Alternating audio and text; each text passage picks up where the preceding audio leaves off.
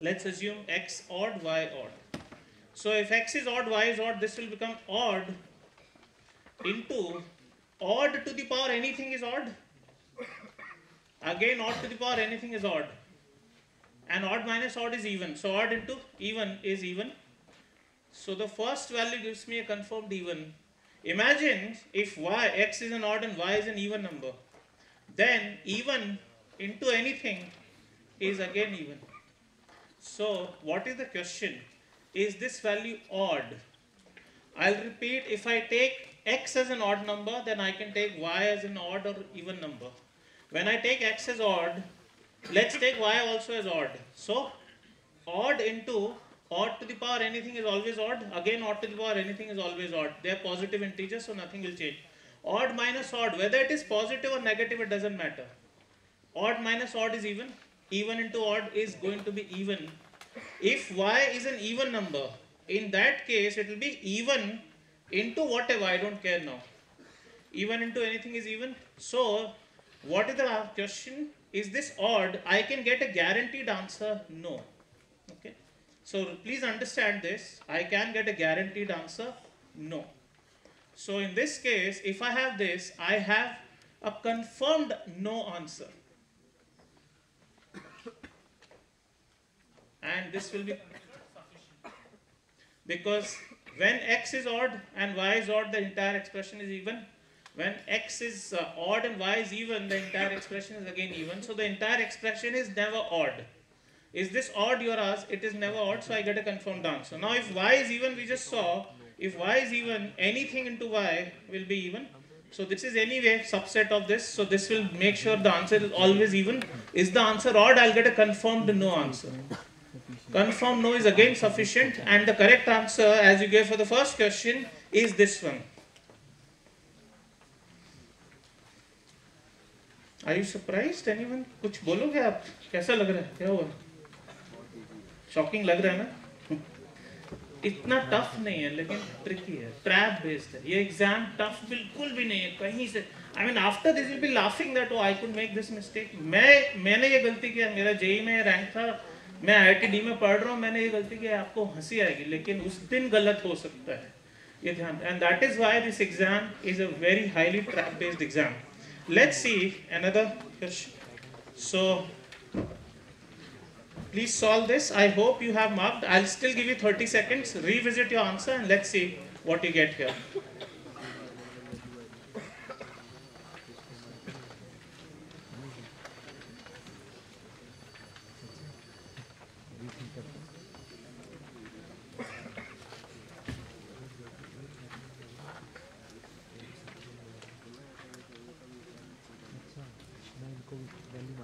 So if you solved, you would have got this as minus 2 less than z, less than 2. So z could be anything. It could be 0, it could be 1, it could be 1 by 2. So you are asked what is the value of z? I don't have a fixed answer. The first statement is definitely not sufficient. Now let's see the second statement. All of you pay attention here. You'll learn something that otherwise will skip your attention. Just this. So I can write this as z or minus z. So z is equal to 3z minus 2 sorry about this and minus z is equal to 3z minus 2 when I solve I get z equal to 1 here. When I solve this I get z equal to 1 by 2 here. So what is my first instinctive answer? I don't have a unique answer because z equal to 1 is also satisfying 1 by 2 but we know one thing that the final value of a mod cannot be negative if I substitute 1 here Will it satisfy here or not? 1 equal to 3 minus 2 definitely. So this is a valid root.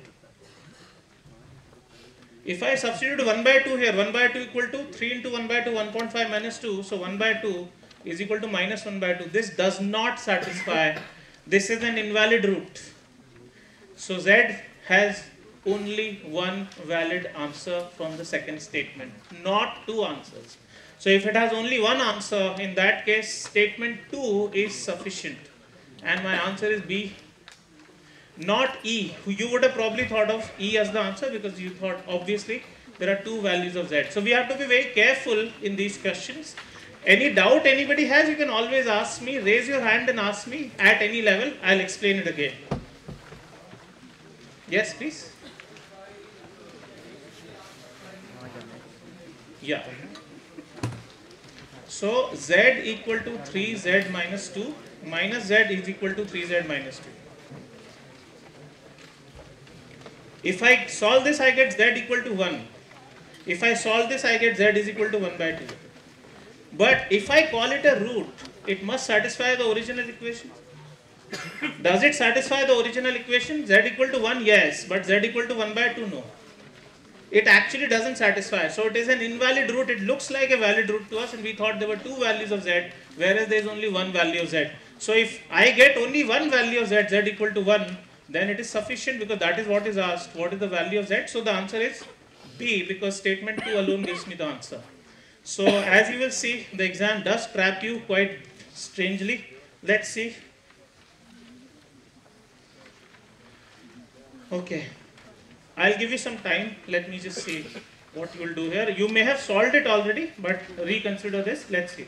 Maybe 30 seconds to 60 seconds more, and then we can discuss a bit of language.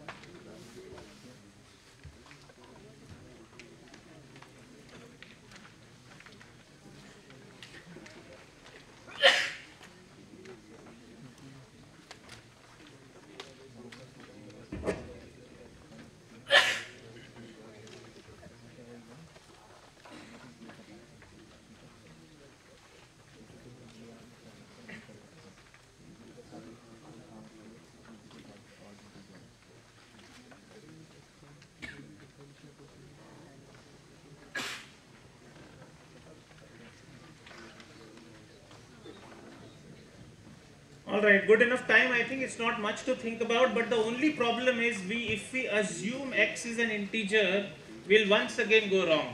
Nobody tells you that x is an integer. x is a positive number. It could be a decimal also. So I can take from the first statement x cube equal to 11 also, or x cube equal to 27 also, or x cube equal to 99 also, and every other number. So x will have multiple answers. x could be cube root of 11, cube root of 13, cube root of 15. It could be 3 and it could be up to cube root of 99. Once again, the first statement is not sufficient. I hope you are getting this. It's very easy. Okay, once you get the answer, it looks so easy after that. But yes, in the same way, when I look at statement 2, I don't look at statement number 1. So x to the power 4 could be 11 or 13 or 15 or 81 or 99. So x could be fourth root of 11 or here x could have been cube root of 25. We just don't know. So again, we do not have a unique answer. So you reject this as well. First and second alone are not sufficient. Now you have to think when you combine, please pay attention. This will be a little tricky. If you have x cube and x4 both as integers, is x supposed to be an integer or a fraction or an irrational number or which what is it x must be an integer only or not an integer सोचो यार जल्दी बताओ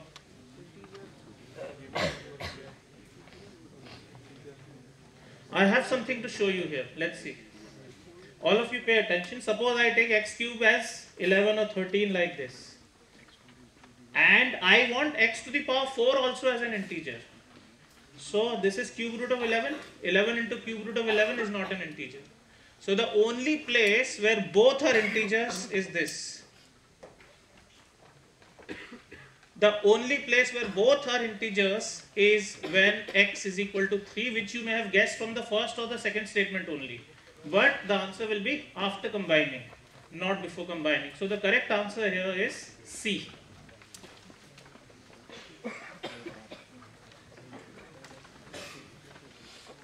Don't worry about it, it's very easy to learn, but initially it does go wrong for the best of us.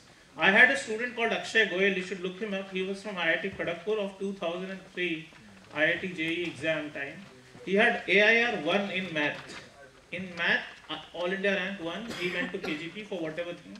Maybe his overall rank was not great, but math rank 1. he long back sat in one of my classes of data sufficiency. He had 9 out of 10 mistakes. मतलब कैसा लगेगा, मैं ए I R one लेके आया हूँ आई I T JEE में, तब तो और टफ होता था, अभी तो बहुत आसान कर दिया उस time comparative you will disagree probably no, but it was very very difficult at some point, you know, suicides and so on, what all happened university अभी भी चल रहा है। अच्छा। इतने लोगों तो नहीं किया। जितनों को मैं देख रहा हूँ। Okay, so the idea is this.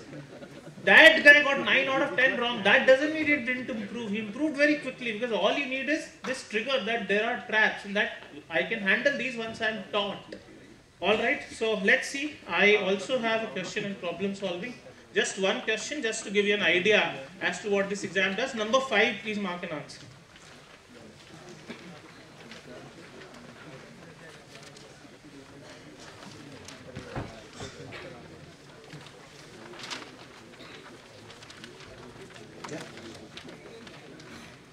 Directly, but a concept, I mean, pattern repeats. Data will not repeat.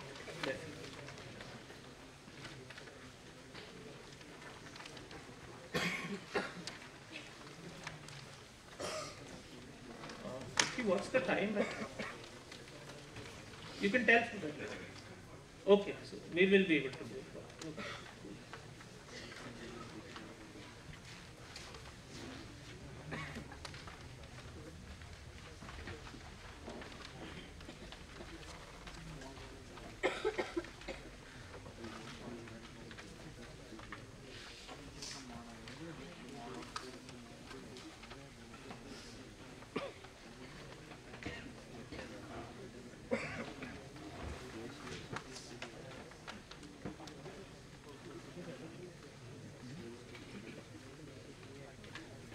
All right.